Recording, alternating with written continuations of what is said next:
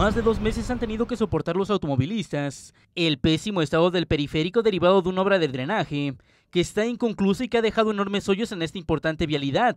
Los automovilistas señalaron que derivado de estas obras, el tráfico en el lugar aumentó, teniendo que esperar entre 10 y 15 minutos para poder pasar en esta zona.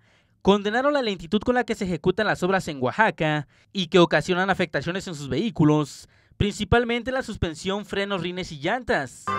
A ver qué tiempo va a tardar esto. ¿Ya lleva bastante tiempo esa situación? Ya, tiene mucho tiempo, ¿eh? ¿Cómo afecta a los vehículos? Pues sí, se afecta bastante. bastante. Bache, carnalito, mucho bache. No deja avanzar, pues, mucho tráfico. Deberían de trabajar de noche para que fluya el tráfico. ¿Qué tanto afecta a los vehículos? No, las suspensiones se van a cada rato, ¿eh? El gasto de gasolina, el gasto de motor, uno como chofer, el estrés, así que el estrés, el cansancio, todo eso, ¿no? Mucha molestia, ya lleva mucho tiempo ya y no hay para cuándo.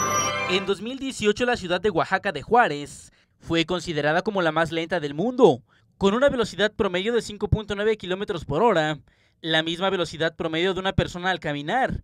Lo anterior son datos del índice IRIX, que es el mayor estudio de su tipo a nivel mundial, que analiza el congestionamiento vehicular de 1.360 ciudades de 38 países en los cinco continentes.